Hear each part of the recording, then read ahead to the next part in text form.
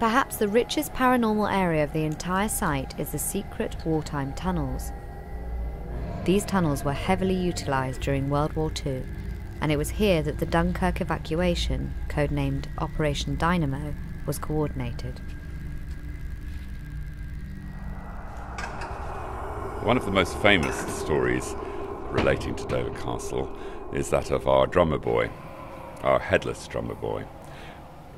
Many times people believe that they've seen the figure of the headless drummer boy uh, along Bell's Battery, and maybe more often they believe that they've heard the sound of his drum sounding the retreat.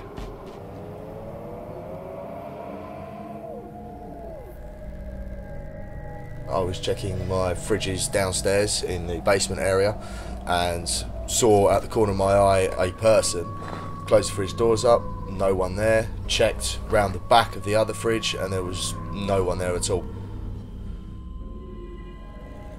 The doors to the Great Hall started shaking incredibly violently, incredibly violently, all of a sudden. And I remember just looking up and just saying, I'm really not in the mood right now, in quite a stern voice.